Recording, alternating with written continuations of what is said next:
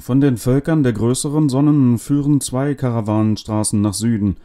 Die erste, die alte, vom Vierstern zum Gaurosauron, einem sehr hinterlistigen Gestirn mit veränderlichem Schein, das durch Verlöschen dem Abbasitenzwerg ähnlich wird, wodurch Verirrte häufig in die Kirov-Wüste geraten und nur eine Karawane von zehn heil herauskommt. Die neue, die zweite Trasse hat das Reich der Mirapuden eingerichtet, nachdem seine Raketensalven einen sechs Milliarden Urmeilen langen Tunnel durch den weißen Gaurosauron gebohrt hatten. Der nördliche Eingang zum Tunnel ist so zu finden. Man folgt sieben elektrische Paternoster lang dem Kurs von der letzten großen Sonne direkt zum Pol – dann biegt man nach links ab in einen kleinen Stollen, bis die Feuerwand, das heißt die Flanke des Gaurosauren, aufgetaucht ist, worin die Tunnelöffnung als schwarzer Punkt im weißen Flammenmeer zu sehen ist. Von hier nun geht man stracks geradeaus, ohne etwas befürchten zu müssen, denn es können acht Schiffe Bord an Bord nebeneinander durch den Tunnel fahren. Und es gibt keinen schöneren Anblick als den, der sich dann durch die Bordscheiben bietet – Meistens ist es ein Feuerregen. Wenn die Sterninnereien aber von magnetischen Stürmen bewegt werden, die in einer Entfernung von einer oder zwei Milliarden Meilen tosen, sind große Feuerknoten und glühende Feuerarterien mit weiß flammenden Gerinnseln zu sehen. Wenn jedoch der Sturm oder ein Taifun von der Stärke sieben naht, dann zittern die Gewölbe, als ob der weiße Teig der Glut einstürzen müsste, doch ist das nur Schein, denn er fliegt und stürzt nicht ein, er flammt, verbrennt aber nicht, da die Streben der starken Felder ihn halten. Sieht man aber, wie die Protuberanzfülle anschwillt und die langblitzigen Quellen, Höllenböller genannt, wüten und nahen, ist es gut, das Steuerrad fester zu packen, denn dann tut größte Steuergewandtheit Not, und es ziemt sich, nicht auf die Landkarte, sondern auf die Eingeweide der Sonne zu blicken, denn es legt niemand diesen Weg zweimal auf die gleiche Weise zurück. Der mit dem Degen in den Gaurosauron gestochene Tunnel windet sich, schlängelt sich dahin und zittert wie eine Schlange unter Schlägen, Deshalb hat man die Augen offen zu halten, darf sich vom rettenden Eis nie trennen, das die Helmkappen mit durchsichtigen Zapfen umrankt, und muss aufmerksam die entgegenjagenden Brandwände beobachten, die prasselnde Zungen vorstrecken und sich auf nichts außer auf den eigenen Scharfsinn verlassen, wenn man den feuergepeitschten und von Sonnenglut bespienenen Schiffspanzer zischen hört. Zugleich aber muss man beachten, dass nicht jede Feuerbewegung und nicht jede Schrumpfung des Tunnels gleich ein Zeichen für das Beben des Sterns bedeutet, auch nicht der weiße Einbruch der Glutozeane. Der erfahrene Schiffsmann wird daher, wenn er sich das eingeprägt hat, nicht gleich beim geringsten Anlass zu den Pumpen rufen, um nicht zu seiner Schande von den Erfahreneren zu hören, er habe mit einem Tropfen kühlenden Ammoniaks das ewige Feuer des Gestirns löschen wollen. Dem Fragenden, der wissen will, was er zu tun habe, wenn ein echtes Sternbeben über das Schiff hereinbricht, wird jeder Vakuumexperte sofort entgegnen, dass es dann genüge zu seufzen, denn für größere Todesvorbereitungen bleibe ohnehin keine Zeit. Die Augen aber könne man dann offen oder geschlossen halten, ganz nach Belieben. Das Feuer werde sie ja sowieso durchbohren. Jedoch gehört solch ein Missgeschick zu den seltensten, denn die von den Mirapudanern eingesetzten Verklammerungsklammern halten die Gewölbe recht gut, und eine Direktreise durch das Sterninnere zwischen den biegsam blitzenden Spiegeln des Gaurosauron-Wasserstoffs kann durchaus zauberhaft sein. Nicht umsonst wird berichtet, dass derjenige, der den Tunnel betreten habe, ihn bald wieder verlassen werde, was man von der Kirov-Wüste nicht gerade behaupten könne. Wenn aber einmal in einem Jahrhundert der Tunnel von einem Beben demoliert wird, gibt es keinen anderen Weg außer diesem. Die Wüste ist schwärzer als die Nacht, denn das Licht der Sterne aus der näheren Umgebung wagt nicht in sie einzudringen. Dort rasseln wie in einem Mörser die Wracks jener Schiffe, die durch den hinterhältigen Gaurosauron vom Kurs abgekommen und in der Umarmung der bodenlosen Strudel geborsten waren, um so bis zur letzten galaktischen Umdrehung zu kreisen, schauderhaft plattgedrückt von der Gravitation. Östlich von der Kirov-Wüste liegt das Reich der Schlüpfrig-Kiefrigen, im Westen das der Armäugigen, und nach Süden verlaufen die Wege, die dicht durchsetzt sind von Todesackern, hin bis zu der leichteren Sphäre der himmelblauen Lassorea und weiter zum flammenblättrigen Murgund, wo der Archipel eisenfreier Sterne blutet, der als Karosse des Alzaron bezeichnet wird. Wie gesagt, die Wüste ist ebenso voller Schwarz wie die Sonnenpassage des Gaurosauron voller Weiß. Nicht alle Not rührt dort von den Strudeln her, vom Sand, von den Strömungen, die aus der Höhe herabziehen und von rasenden Meteoren. Von manchen wird nämlich behauptet, dass ein Ding oder auch ein Unding, genannt der Unbekannte, an einem unbekannten Ort sitze, in trüber Finsternis, seit Alters in unfassbarer Tiefe. Wer seinen wahren Namen kennenlernen will, indem er ihm begegnet, wird der Welt nichts mehr offenbaren können, weil er sie nicht mehr sehen wird. Man erzählt sich, der Unbekannte sei ein Räuber und Zauberer gewesen und bewohne eine eigene Burg, errichtet aus schwarzer Gravitation, die Burggräben seien eine ewige Lawine, ihre Mauern das Nichtsein, das vollkommen in seinem Nichts ist, ihre Fenster seien blind, ihre Türen taub, der Unbekannte lauere den Karawanen auf, und wenn ihn großes Verlangen nach Gold und nach Skeletten heraustreibe, blase er schwarzes Pulver auf die Sonnenscheiben, die die Wege weisen, und wenn er sie zum Verlöschen gebracht habe, stürze er, Kobolds schießend, aus dem Nichtsein, umgebe sie mit engen Ringen und verschleppe sie in das Nichts seiner Burg, sorgsam darauf achtend, nicht die kleinste Rubinagraffe fallen zu lassen, so übergenau sei er in all seiner Schrecklichkeit. Danach schwimmen nur besagte Wracks von nirgendwoher und kreisen in der Wüste. Ihnen hinterher fliegen aber noch Schiffsniete wie Kerne, die der Rachen des ungeheuerlichen Unbekannten ausgespien hat. Seit aber der Gaurosauronsche Tunnel durch die Sklavenarbeit der Raketenscharen der öffentlichen Nutzung übergeben werden konnte und die Raumfahrerei durch diese hellste aller Rinnen vor sich ging, wütet der Unbekannte, seiner Beute beraubt, und erhellt mit der Glut seiner Wut dermaßen die Finsternis der Wüste, dass sein Leib durch die schwarze Mauer der Gravitation hindurchschimmert, wie ein Larvengerüst, das in seiner Bespinnung wie in einem Grab, aber doch phosphorisch modert. Manche Besserwisser behaupten, ihn gebe es gar nicht, und es habe ihn nie gegeben. Sie haben gut reden. Es ist nämlich viel schwerer, um die Darstellung der Dinge zu ringen, für die das Wort, in lauer Stille, fern von flammenden Gluten und Wüsteneien entstanden, keine Entsprechung besitzt. Es fällt leicht, das Ungeheuer zu leugnen, schwerer jedoch, dieses zu überwinden und seiner ekelhaften Gier zu entrinnen. Hatte es nicht gar den Murgunder Kybernator mit achtzig Gefolgsleuten auf drei Schiffen verschlungen, so dass von all diesen Magnaten nichts übrig blieb, außer ein paar abgenagten Klammern, die von Bewohnern der Siedlungen der kleinen Solara gefunden wurden, da die Nebelfleckendrift sie an ihre Gestade geworfen hatte? Hatte es nicht zahllose andere Männer ohne Pardon aufgefressen? So mag denn wenigstens stilles, elektrisches Gedenken diesen Unbeerdigten eine Huldigung darbringen, wenn sich schon niemand findet, der sich ritterlich, nach altem Sternumkreisungsgesetz, an jenem Übeltäter räche.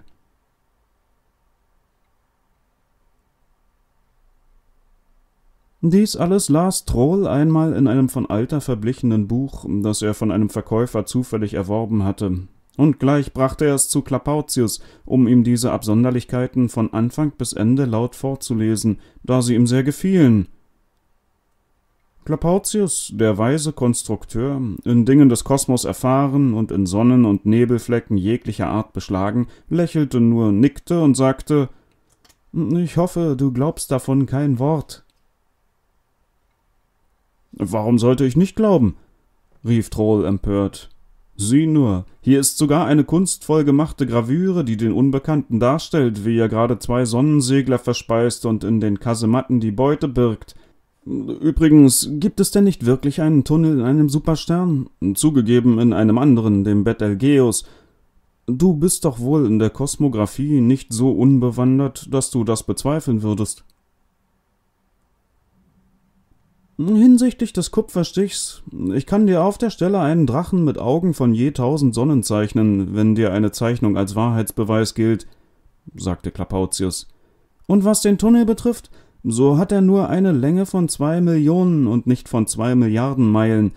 Zweitens ist der Stern nahezu erloschen und drittens stellt die Fahrt durch den Tunnel nicht die geringste Gefahr dar, was dir sehr wohl bekannt sein dürfte, da du ja dort geflogen bist. Was nun die sogenannte Kirov-Wüste anbelangt, so ist das in Wirklichkeit einfach eine 10 Kiloparsec breite Masse kosmischen Milz, die zwischen Meridia und Tetrachides kreist und nicht in der Nähe irgendwelcher Feuerköpfe oder Gaurosaurier, die es überhaupt nicht gibt. Es stimmt zwar, dass es dort finster ist, aber nur von dem vielen Schmutz. Einen Unbekannten gibt es selbstverständlich dort nicht, das ist nicht einmal ehrbarer antiker Mythos, sondern Phantasterei eines Wirrkopfs. Troll presste die Lippen zusammen. Der Tunnel ist nicht wichtig, sagte er. Du meinst, er sei ungefährlich, weil ich dort geflogen bin. Wärst du es gewesen, würde man ganz andere Sachen zu hören bekommen. Aber lassen wir einmal den Tunnel, meine ich. Was die Wüste und den Unbekannten betrifft, so liegt mir nichts an einem Überzeugen durch Wortargumente. Fahr hin, dann wirst du sehen, was daran wahr ist. Hier ergriff er das dicke Buch, das auf dem Tisch lag. Und was nicht.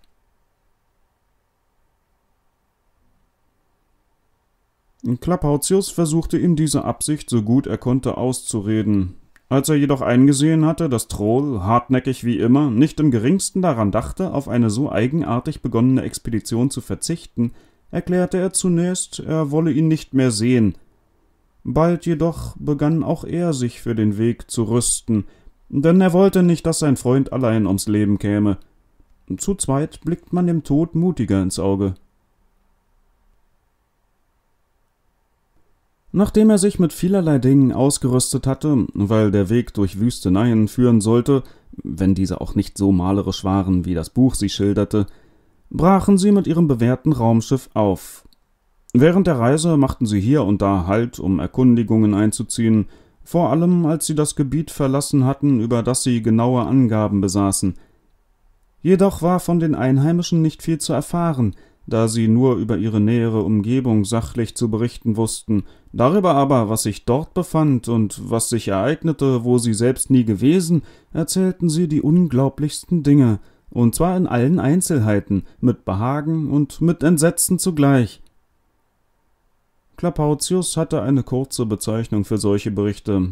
Er nannte sie korrosiv, auf jene Korrosion und Sklerose anspielend, von der alle Greisenhirne geplagt werden.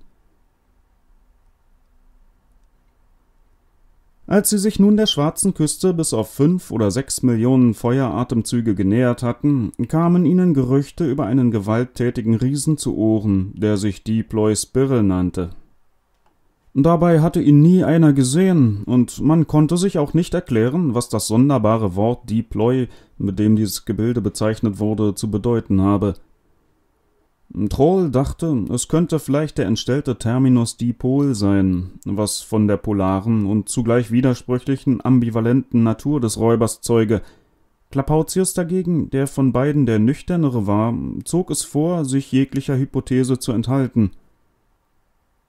Offenbar, so verlautete es, sei jener Räuber grausam und jähzornig, was sich darin äußere, dass er, nachdem er seine Opfer aller Dinge beraubt habe, immer noch unzufrieden durch seinen schrecklichen Geiz, weil es ihm in seiner Gier niemand recht machen konnte, sehr lange und schmerzhaft zuzuschlagen pflege, bevor er jemanden freilasse. Die Konstrukteure überlegten eine Weile, ob sie sich nicht mit einer Feuer- oder Stichwaffe ausrüsten sollten, bevor sie den schwarzen Rand der Wüste überschritten, doch schließlich erkannten sie, dass ihre Köpfe die beste Waffe seien, geschärft bei der Konstruktion, weitreichend und universell, und so fuhren sie, wie sie da standen. Es muss eingeräumt werden, dass Troll im Verlaufe der weiteren Reise recht bittere Enttäuschungen erlebte, denn in dem alten Buch waren die Sternballungen, die Flammenherde, die öden Wüsteneien, die Meteorenriffs und die wandernden Felsen viel schöner geschildert, als sie sich dem Auge des Reisenden in Wirklichkeit darboten. Die wenigen Sterne in dieser Gegend waren ganz unansehnlich und obendrein alt, die einen blinzelten kaum wie in Asche glimmende Kohlestückchen, die anderen waren an der Oberfläche bereits vollends nachgedunkelt, und nur durch die Risse ihrer schlampig gefalteten Rinde aus Schlacke glommen rote Äderchen. Flammende Dschungel oder heimliche Strudel gab es hier gar nicht, auch hatte niemand je etwas davon gehört. Die ganze Wüstenei zeichnete sich nämlich dadurch aus, dass sie todlangweilig war. Was nun die Meteore betraf, so gab es sie wie Sand am Meer, Jedoch flog in diesem klappernden Gerümpel mehr Schmutz mit als anständige magnetische Magnetite oder tektische Tektite, und das, weil man von hier mit der Hand zum galaktischen Pol reichen konnte und die Rotation der finsteren Strömungen gerade hierdurch nach Süden Unmengen von Abfällen und Staub aus den zentralen Sphären der Galaxis zog. Daher nannten die benachbarten Stämme und Völkerschaften dieses Gebiet nicht Kirov-Wüste, sondern einfach nur Müllhaufen.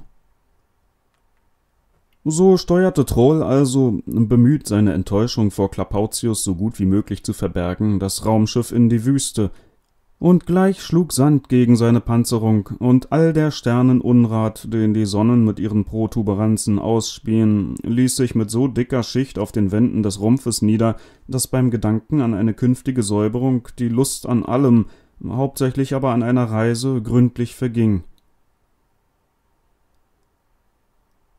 Die Sterne waren schon lange im allgemeinen Dämmer verschwunden, und so flogen die beiden aufs Geratewohl, doch plötzlich wurde das Schiff erschüttert, so dass alle Gerätschaften, Töpfe und Instrumente rasselten, und sie spürten, dass sie irgendwohin flogen, und das immer schneller. Schließlich krachte es entsetzlich, das Schiff setzte ziemlich weich auf und erstarrte in schrägem Neigungswinkel, als habe sich seine Spitze in etwas Unbewegliches gebohrt. Sie stürzten zu den Fenstern.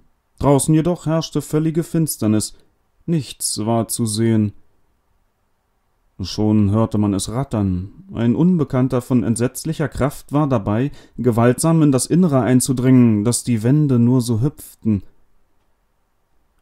Jetzt erst hatten sie nur mehr geringes Vertrauen in ihre vernünftige Wehrlosigkeit, aber hinterher war es nutzlos zu klagen, also machten sie selbst die Klappe von innen auf, jedoch nur, damit man sie ihnen nicht mit Gewalt zu Schanden machte. Was erblickten sie? Jemand steckte sein Maul durch die Luke. Es war so groß, dass keine Rede davon sein konnte, er könnte auch seinen Körper durchstecken, dieses Maul war unheimlich abstoßend, war von oben bis unten längs und quer mit Augen besetzt und hatte eine Nase wie eine Säge, sowie Kiefer oder auch Nicht-Kiefer, die hakenförmig und stählern waren.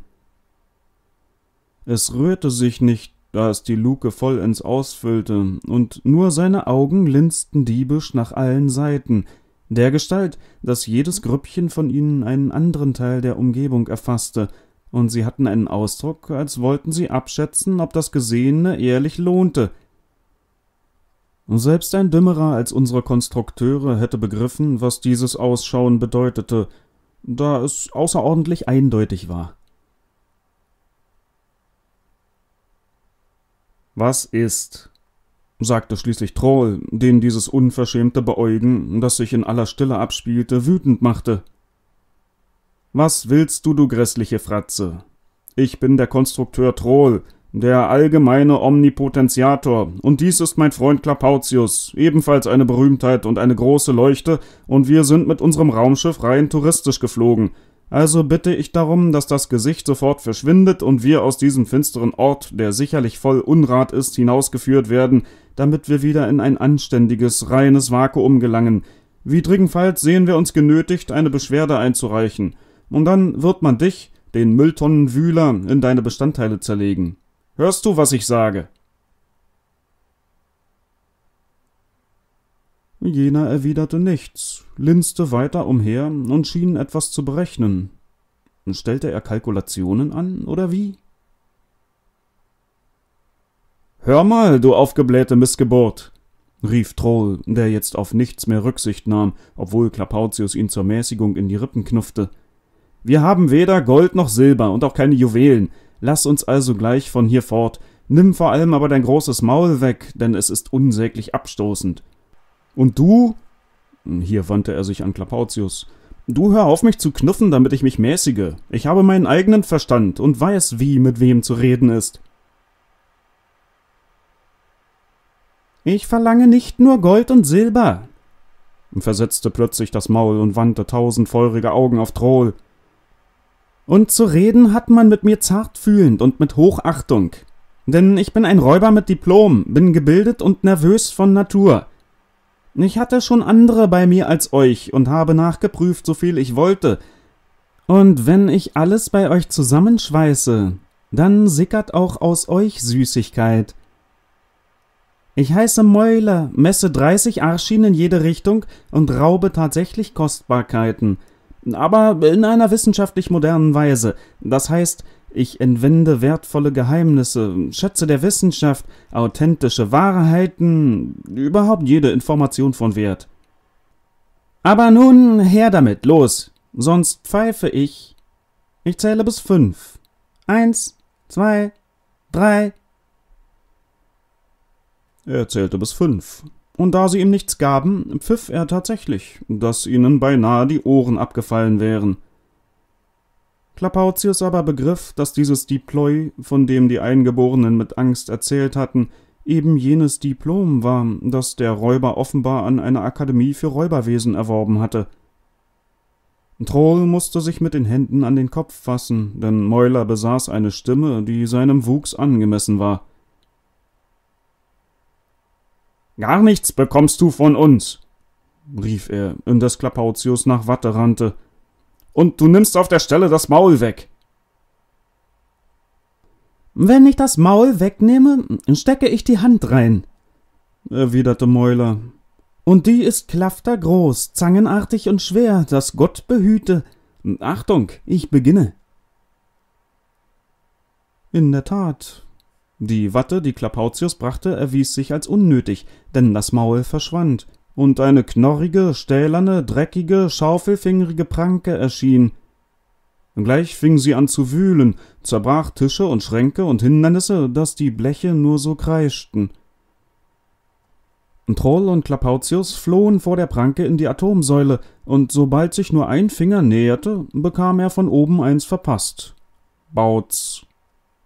Schließlich ärgerte sich der diplomierte Räuber, steckte erneut das Maul durch die Luke und versetzte Ich rate euch im Guten, einigt euch mit mir, denn sonst lege ich euch für später beiseite, in die Tiefe meiner Vorratsgrube, schütte euch mit Schmutz zu und drücke euch mit Steinen fest, dass ihr euch nicht rühren könnt und euch der Rost vollends auffrisst.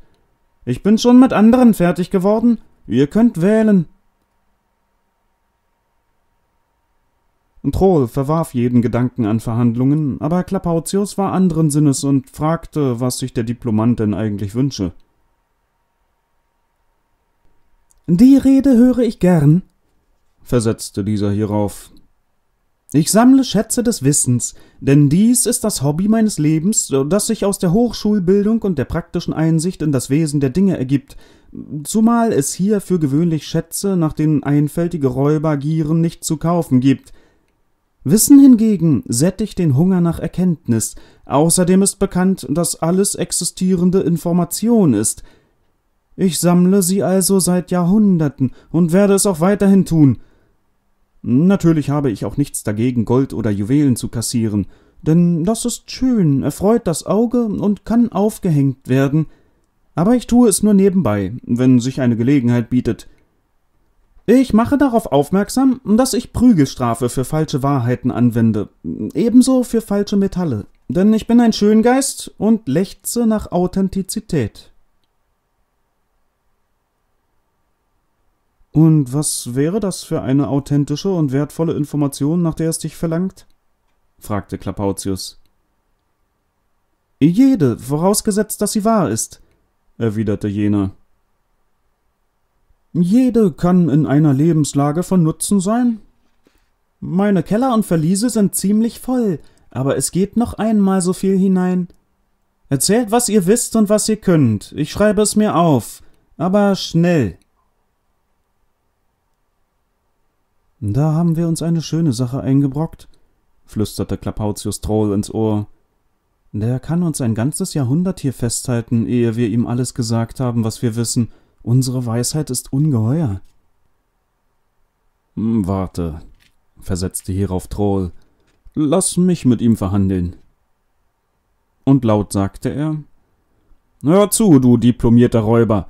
Was das Gold anbelangt, so besitzen wir Informationen, die mehr als alle anderen wert sind.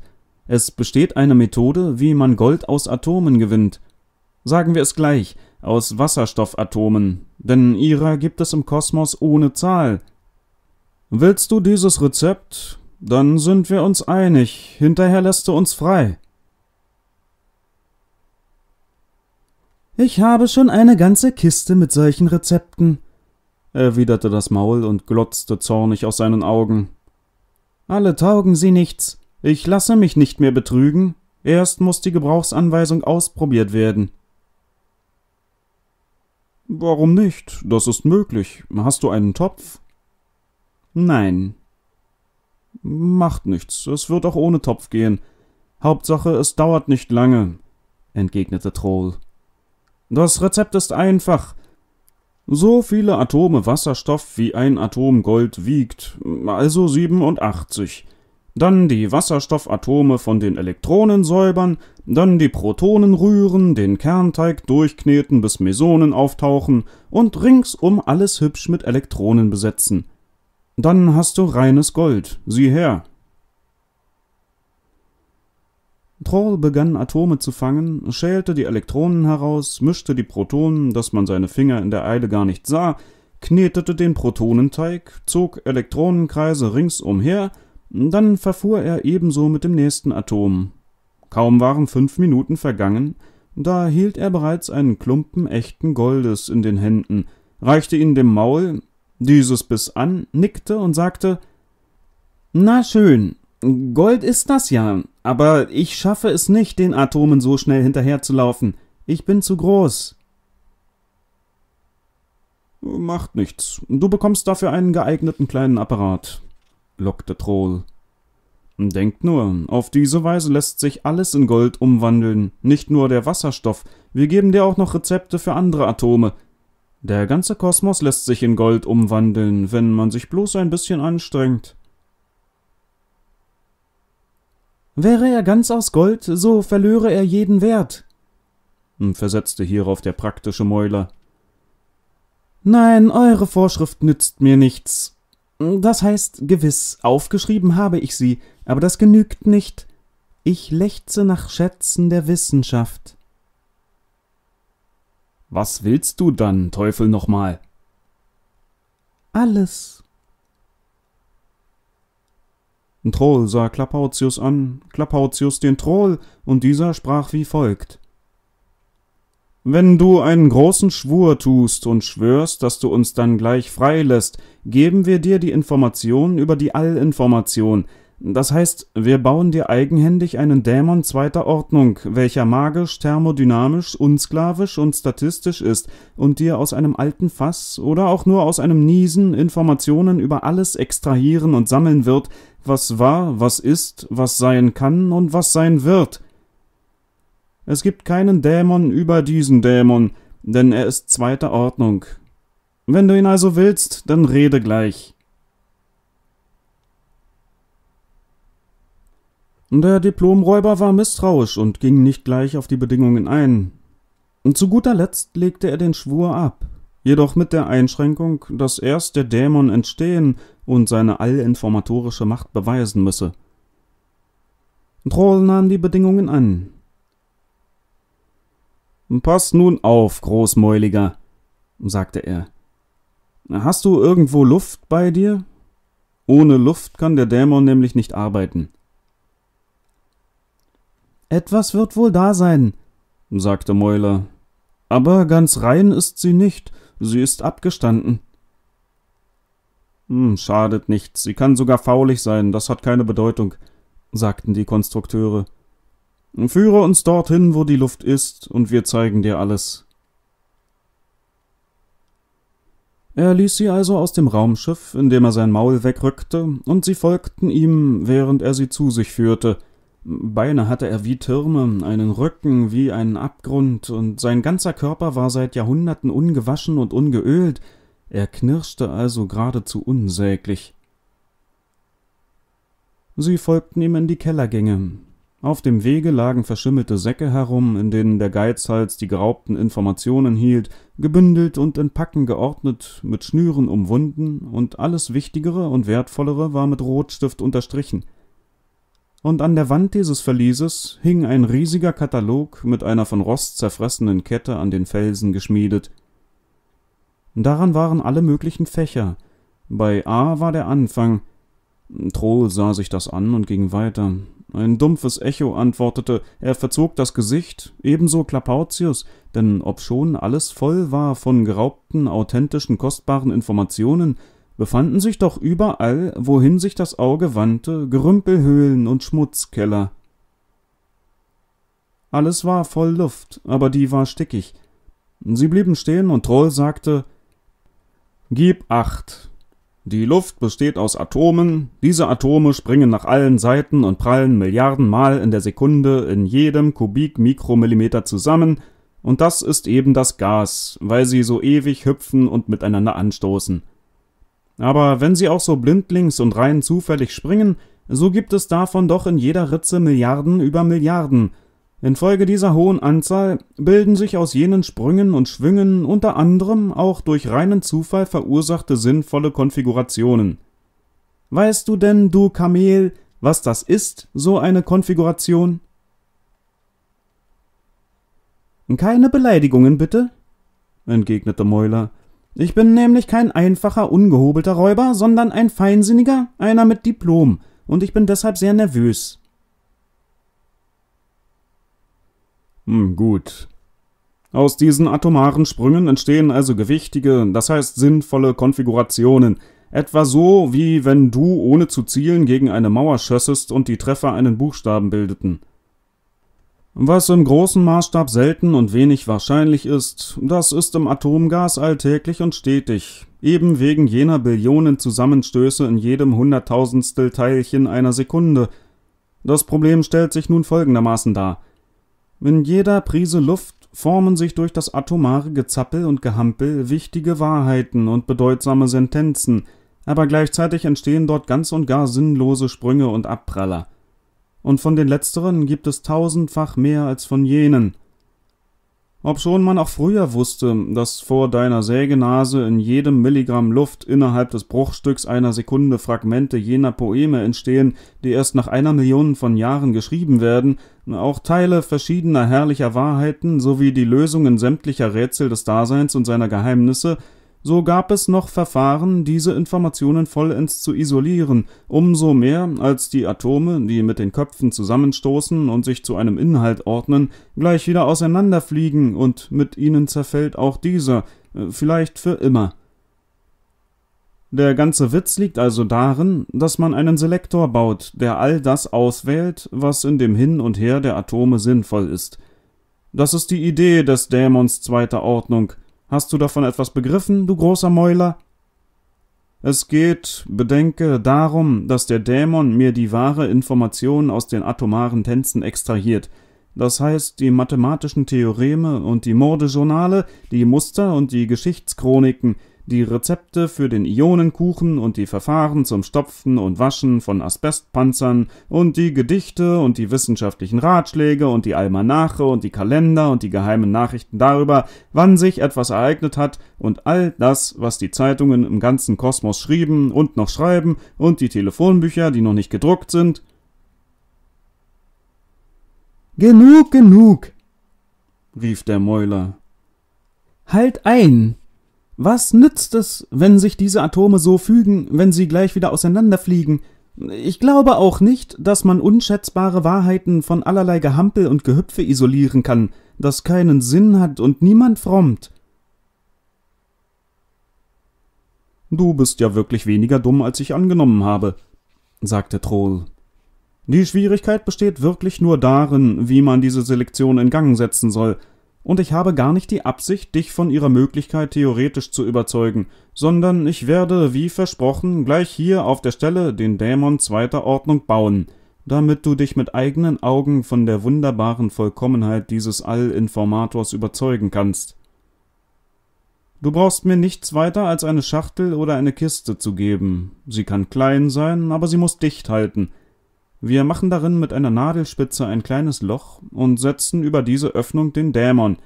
Er wird breitbeinig darauf sitzen und nur sinnvolle Informationen aus dem Kasten herauslassen, sonst nichts. Wenn sich nämlich irgendein Häufchen Atome zufällig so zusammenfügt, dass es etwas bedeutet, dann packt sie der Dämon gleich am Kragen und schreibt diese Bedeutung auf einen Papierstreifen, von dem ich einen ganzen Haufen bereitschaffen muss, denn er wird Tag und Nacht arbeiten. Bis der Kosmos aufgehört hat, nicht früher. Und das hundert Milliarden Mal pro Sekunde. Du wirst es gleich selbst erleben. So nämlich arbeitet der Dämon zweiter Ordnung. Mit diesen Worten begab sich Troll zum Raumschiff, um den Dämon anzufertigen. Mäuler fragte indes den Klapautius: Und wie ist der Dämon erster Ordnung beschaffen? Ach, der ist weniger interessant. Ein gewöhnlicher thermodynamischer Dämon, der nur so viel kann, dass er die schnellen Atome durch die Öffnung lässt und die langsamen nicht.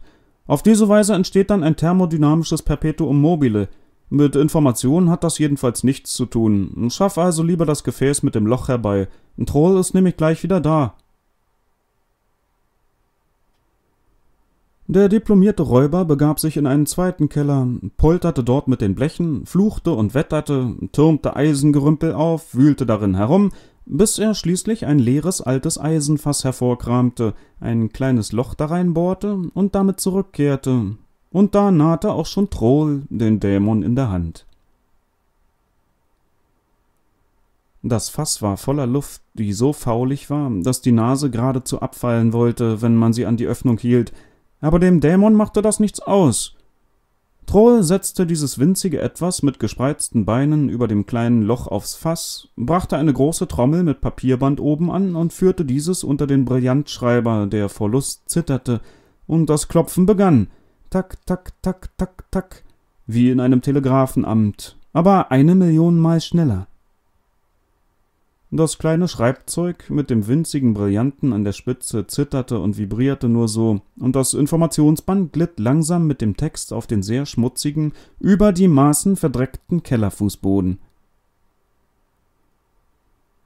Der Räuber Mäuler hockte sich neben das Fass, hielt das Papierband an seine hundert Augen und las ab, was der Dämon da als Informationssieb aus dem ewigen atomaren Gehüpfe herausfischte – und die wichtigen Inhalte fesselten ihn gleich dermaßen, dass er gar nicht merkte, wie die beiden Konstrukteure umso rascher den Keller verließen, ihr Schiff an den Steuervorrichtungen packten, einmal, zweimal, dreimal daran zerrten, bis sie es aus der Falle gezogen hatten, in die es der Räuber gestoßen hatte, hineinsprangen und so schnell davonrasten, wie sie nur konnten – denn obwohl sie wussten, dass ihr Dämon tätig war, argwöhnten sie, dass die Ergebnisse dieser Wirkung Mäuler mit größerem Reichtum ausstatten würden, als es wünschenswert war. Dieser aber saß ans Fass gelehnt und las beim Piepsen des Brillantschreibers, mit dem der Dämon auf dem Papierband alles niederschrieb, was er von den zitternden Atomen erfuhr, darüber, wie sich die arlebadischen Gliederfüßler gliedern und dass die Tochter des Königs Petricius aus Labaudien Garbunda hieß, und was Friedrich II., der König der Blasser, zum zweiten Frühstück aß, als er den Gwendolinern den Krieg erklärte, und wie viele Elektronenhüllen ein Thermionolium-Atom besäße, wenn ein solches Element möglich wäre, und wie groß die Abmessungen des hinteren Lochs des kleinen Vogels sind, welcher Krugelhahn heißt und von den lockschwänigen Marleinen auf Ramphoren gemalt wird, Ebenso über die drei polyaromatischen Geschmacksarten des ozeanischen Schwamms auf Aquatien und über das Blümchen Wiedehopf, das vor Rührung über die Morgenröte mit allem Ungestüm die altmelfischen Jäger zum alten Eisen legte, auch darüber, wie man die Formel für den Cosinus des Winkels der Basis des Vielecks, Icoseder genannt, deduziert, und wer der Juwelier des Falutius, jenes linkshändigen Schlechters der Buvanten, war und wie viele philatelistische Schriften im Jahre 70.000 auf Markonautien erscheinen werden und wo sich die kleine Leiche der schönfersigen Kibrizia befindet, die ein gewisser Malkonda im trunkenen Zustand mit einem Nagel durchbohrte, auch wodurch sich ein Kritiker von einem Haarspalter unterscheide, desgleichen wer im Kosmos die kleinste längsjähte Decke besitze und warum Drachen hintrige Flöhe kein Moos essen wollen – worin das Spiel Herunterziehen des hinteren Balutias bestehe und wie viele Samenkörner von Löwenkraut sich in dem Häufchen befanden, das Burkan der Blättrige mit dem Fuß anstieß, als er beim achten Kilometer der Chaussee nach Albatia im Tal der Greisen Seufzer ausrutschte. Und nach und nach wurde er fuchsteufelswild, denn ihm schwante, dass er all diese gänzlich echten und über die Maßen sinnvollen Informationen überhaupt nicht brauchte, denn sie waren wie Kraut und Rüben, wovon einem der Kopf platzen wollte und die Füße zitterten. Der Dämon zweiter Ordnung arbeitete mit einer Geschwindigkeit von 300 Millionen Informationen in der Sekunde. Der Papierstreifen ringelte sich bereits meilenweit und bedeckte nach und nach den diplomierten Räuber mit seinen Schleifen. Es war, als würde er in weiße Spinnenweben eingesponnen, und der kleine Brillant des Schreibers zitterte wie rasend, und der Räuber glaubte, er werde nun gleich unerhörte Dinge erfahren, solche, die ihm die Augen auf das Wesen des Seins öffnen würden. Also las er alles, was unter dem kleinen Brillanten hervorsprudelte, und das waren Trinklieder der Quaidonesen, die Größen der Nachtpantoffeln mit Troddeln auf dem Kontinent Gondwana, die Dicke der Haare, die auf der Kupferstirn des Euerburger Tausendfüßlers wachsen, und die Breite der Fontanellen bei den Futtersäuglingen, und die sechs Methoden, eine Grießsuppe zu kochen, und wirksames Gift für Tanten, und die Art, wie man bis zur Übelkeit kitzelt, und alle Namen auf M der Einwohner von Finsterangst Glauber, und die Beschreibungen des vom Schimmel befallenen Bieres. Ihm wurde von alledem dunkel vor Augen, und er brüllte laut los, denn er hatte es satt. Doch hatte ihn bereits die Information mit dreihunderttausend Papiermeilen umwickelt und gefesselt, so dass er sich nicht mehr rühren konnte und weiterlesen musste, darüber, welchen Anfang des zweiten Dschungelbuches Rudyard Kipling geschrieben hätte, wenn ihn damals Bauchschmerzen geplagt hätten und woran ein von Ehelosigkeit geplagter Walfisch denkt, welche Art das Liebeswerben der weißen Fliegenpilze sei, wie man einen alten Sack stopfe, was Amüsierschoten sind, warum man Schmied und Schneider und nicht Schneid und Schmieder sage, wie viele blaue Flecke man auf einmal haben könne, dann folgte eine Reihe von Merkmalen zur Unterscheidung von Trillern und Aprikosen, die ersten seien kahl, die anderen hätten Härchen, ferner welches die Reime zu dem Wort Kohl seien und mit welchen Worten Papst Ulm von Pendera den Antipapst Bulmer beleidigt habe und wer eine Kammbläse besitze. Hier nun vermochte er in äußerster Verzweiflung sich aus dem Papiergewirr zu befreien, bald jedoch verließen ihn die Kräfte. Er stieß die Papierstreifen zurück, zerriss sie und warf sie beiseite, aber er hatte viel zu viele Augen, als dass nicht wenigstens durch einige ein paar neue Informationen drangen, also erfuhr er gezwungenermaßen, welches die Kompetenzen eines Nachtwächters in Indochina sind und weshalb die Nadeuderer aus Flutorsien stets behaupten, sie seien verweht worden. Doch da schloss er die Augen und erstarrte, erdrückt von der Informationslawine. Der Dämon indes wickelte ihn weiter in die Papierstreifen ein, und strafte somit auf entsetzlichste Weise den diplomierten Räuber Mäuler für seine maßlose Gier nach jedwedem Wissen. So hockt jener Mäuler bis auf den heutigen Tag auf dem Grunde seiner Müllhaufen und Schutthalden, bedeckt mit Bergen von Papier, im Halbdämmer des Kellers aber zittert und vibriert der winzige Brillantschreiber und notiert alles, was der Dämon zweiter Ordnung aus den atomaren Tänzen der Luft, die durch das kleine Loch im alten Fass strömt, herausfischt. Und so erfährt der unglückselige Mäuler, genötigt durch die Streifenflut der Information von den Pompons und von den Karakons und von seinem eigenen Abenteuer, das auf diesen Seiten ebenfalls geschildert wurde, wo es sich auf irgendeinem Kilometer des Papierstreifens befindet auch noch andere Geschichten und Prophezeiungen der Geschichte aller Wesen bis zum Verlöschen der Sterne. Und es gibt für ihn keine Rettung, denn so streng haben ihn die Konstrukteure für seinen räuberischen Überfall bestraft. Es sei denn, dass schließlich das Band wegen Papiermangels zu Ende geht.